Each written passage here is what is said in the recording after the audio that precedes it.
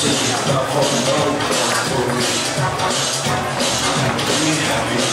And it's main dancer. We continue on to the third dance.